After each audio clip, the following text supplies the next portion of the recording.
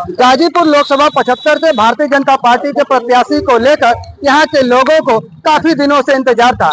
कारण कि समाजवादी पार्टी से अफजाल अंसारी का टिकट क्लियर होने के बाद वो लगातार जनसभाएँ और अपने कार्यकर्ताओं से मिला करते थे और हर अपने बैठक में भारतीय जनता पार्टी के कार्यकर्ताओं को ललकारने का काम करते थे। लोगों का उम्मीद था कि यहाँ पर जम्मू कश्मीर के एलजी मनोज सिन्हा एक बार फिर से चुनाव लड़ सकते हैं, जिसको लेकर लगातार कयास भी चल रहा था। लेकिन आज जब भारतीय जनता पार्टी का टिकट क्लियर हुआ है तो उसमें गाजीपुर से पारसनाथ राय का नाम आया है। पारसनाथ राय का नाम बता दे, ये शिक्षा जगत से जुड़े हुए हैं और जो हमारी जानकारी है, ये राष्ट्रीय स्वयं सेवक संघ से बहुत ही पुराने समय से जुड़े हुए हैं। साथ ही साथ। सैदपुर जनपद के ये सर संचालक भी है और मौजूदा समय में कॉपरेटिव के डायरेक्टर भी है। ऐसे में हमारे साथ भारतीय जनता पार्टी के चुनाव वरिष्ठ लोग हैं। हम इनसे जानना चाहेंगे कि पारसनाथ राय जिनका नाम आज सांसद के लिए के लिए टिकट घोषित हुआ है उनके बारे में इनसे हम बात करेंगे। सर अपना परिचय दे दें। मैं राम नरेश भारतीय जनता पार्टी राम नरेश जी आप जंगीपुर से चुनाव भी लड़े हैं। हाँ, और लोकसभा चुनाव से लेकर जो लगातार अटकलें लग रही थी कि प्रत्याशी कौन होगा? आप लोग भी खोज रहे थे। आज नाम घोषित हो गया है। यह सब तय करना पार्टी के उच्च पदाधिकारियों का कर्तव्य है। वो किए जो किए हैं सही किए हैं। हम लोग किसी को ढूंढ नहीं रहे थे। जो आएगा हमारे पार्टी का प्रत्याशी है उसके लिए सभी कार्यकर्ता तन मन से लगे गए और हमको पूरा पूरा विश्वास है। बहुत अंतर से भारतीय जनता पार्टी विजयी होगी। ऐसे में पार्श्वनाथ राय की अगर बात किया जाए तो पार्टी में या गाजीपुर जनपद में क्या राजनीतिक कर रहा है? जैसा कि आपने स्वयं बताया कि राष्ट्रीय स्वयं सेवक से स्वयं सेवक संघ से वो जुड़े हुए हैं। उनकी एक अच्छी छवि है, गंभीर व्यक्तित्व है।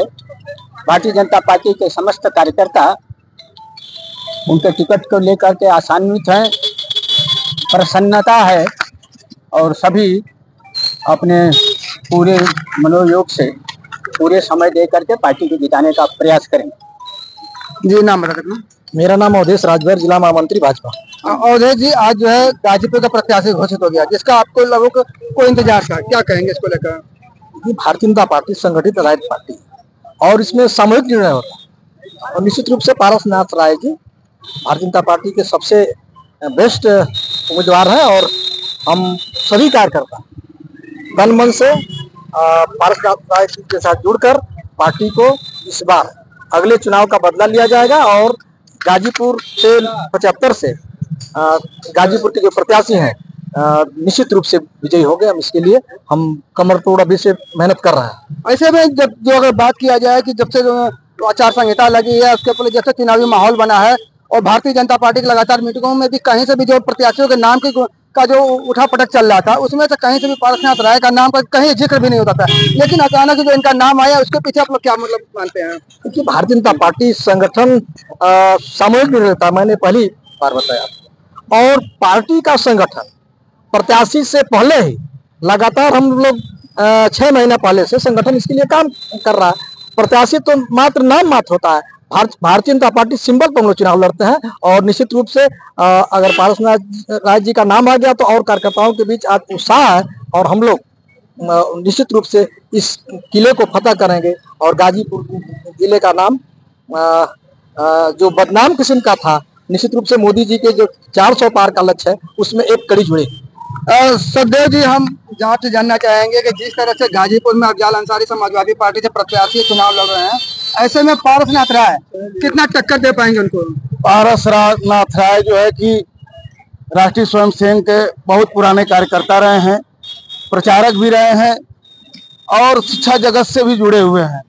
बहुत बढ़िया इनका सिकड़ी में जो है कि इंटर कॉलेज है और डिग्री कॉलेज चलता है। इनका पूरे जनपद में क्या लगता है कि अफजाल अंसारी को टक्कर दे पाएँगे? अफजाल अंसारी से हर मामले में आर्थिक क्षेत्रों में राजनीतिक क्षेत्रों में सामाजिक क्षेत्रों में लेकिन अफजाल अंसारी क्षेत्रों में अफजाल अंसारी पाँच बार के विधायक दो बार के मतलब एक बार सांसद भी रह चुके हैं। अपराधी भी तो रह चुके हैं। तो भाई इनके साथ हमारे प्रत्याशी के साथ इस तरह का एक सौ सात सोलह का मुकदमा भी तो नहीं है। उस परिस्थिति में देखेंगे तो हमारा प्रत्याशी एक साफ़ छवि का आदमी है। और गाजीपुर जनपद में बहुत ही ईमानदारों में गिने जाते हैं और उनका इलाके में आप आप कभी गए होंगे? इनका जब फ़ंक्शन होता है तो पच्चीसों हज़ार की भीड़ जो है प्रति वर्ष जो है ना, नाम बता मेरा नाम वेद प्रकाश अकेला है। वेद प्रकाश जी पारस पारसनाथ राय आज भाजपा के प्रत्याशी बनाया गया है। क्या उम्मीद थी कि मतलब ये प्रत्याशी होंगे या किसी और की उम्मीद थी आप लोगों को? भारतीय जनता पार्टी का हर एक कार्यकर्ता अपने आप को प्रत्याशी मान के चलता है। भारतीय जनता पार्टी का हर एक कार्यकर्ता कमल लेके चल रहा है प्रत्याशी जो भी है उसके साथ लग जाना है पीछे उसके। और बाकी चुनाव की बात रही तो कोई टक्कर नहीं है ऐसे में अगर बात किया जाए पिछला लोकसभा चुनाव और इस बार तो क्या अंतर है? क्योंकि पिछले बार डेढ़ लाख लगभग चुनाव तो से जो है मनोज सिन्हा पिछली बार पिछली बार सपा बसपा का गठबंधन भी था और कुछ कारण रहे होंगे और जनता के दिमाग में है। अफजाल अंसारी 2004 में भी सांसद बने थे कई वर्षों तक जेल में रहे और गाजीपुर की जनता यही नहीं चाहती है कि सांसद बने और जेल में रहे। और अ, 2014 में भी बने थे और 2019 में भी बने तो कई महीने जेल में थे। तो इनका तो रिकॉर्ड ही जेल में जाने आने का रहा है।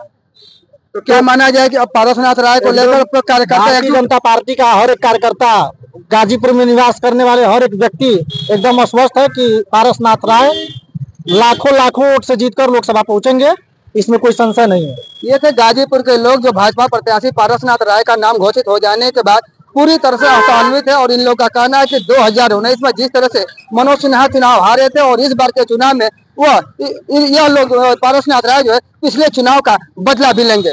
गाजीपुर से अनिल कुमार।